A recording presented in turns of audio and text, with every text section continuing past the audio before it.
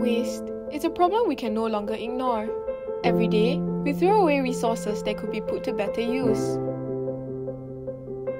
But what if we could turn the waste into wonder?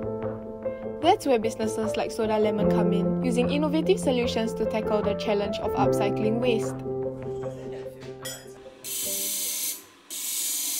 Hi, my name is Sean. Uh, I'm the co-founder of Soda Lemon together with my friend Rui Xiang. So back in uni days, it was more of like a side project. So this was not a graded assignment by any of the lecturers, but we were interested to see what we could do with the waste materials that we have hands on. Because glass is one of the least recycled material in Singapore and also around the world actually. In Singapore, it's maybe between 10 to 20% of glass being recycled only for whatever that's been thrown away. If you look at the landscape, glass is still quite a neglected resource. So in our eyes, it's a resource, not really a waste. And we are quite interested to see whether whether we could find a way for glass waste to be reintegrated into society or the circular economy. Starting a local business at such a young age comes with its risks, and Sean is no stranger to that. You know, when you grow up, you start to take on adult responsibilities, and people ask you, oh, why run a business? You should be having a full-time job, stable salary, stable income. So that was the part that we had to juggle. And for me, because I left my own full-time job, my mom was asking, why are you trying to do something risky? Think about your future and so on, yeah.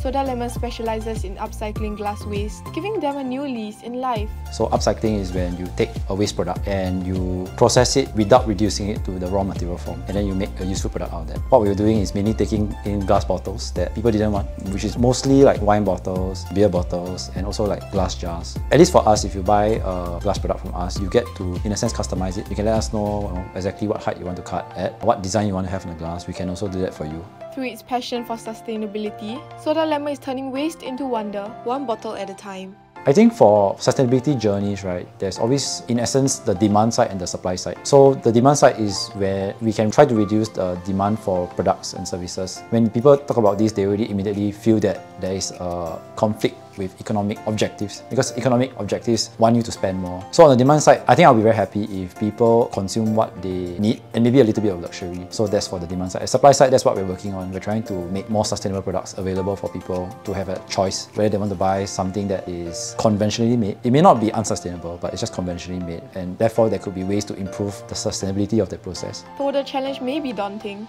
Sean hopes that every Singaporean can make their own positive impact on the environment.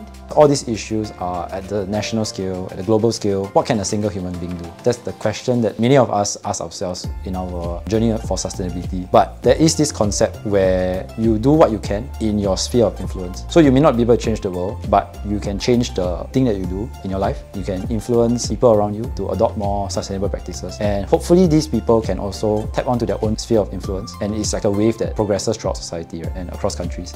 Like Sean said, we too can play our part in reducing material waste. Sometimes it's as simple as supporting local businesses like Soda Lemon. So, how will you contribute to a more sustainable tomorrow?